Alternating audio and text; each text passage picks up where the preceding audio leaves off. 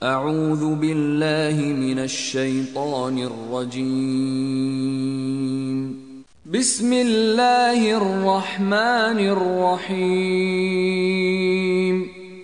اور جب ہم نے تمہارے لیے دریا کو پھاڑ دیا تو تم کو تو نجات دی اور فرعون کی قوم کو غرق کر دیا اور تم دیکھ ہی تو رہے تھے۔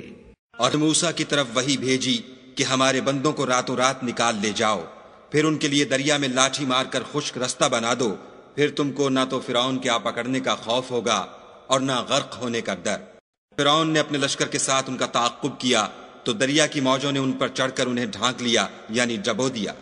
उस वक्त हमने मूसा की तरफ़ वही भेजी कि अपनी लाठी दरिया पर मारो तो दरिया फट गया और हर एक टुकड़ा यूँ हो गया कि गोया बड़ा पहाड़ है और दूसरों को वहाँ हमने करीब कर दिया।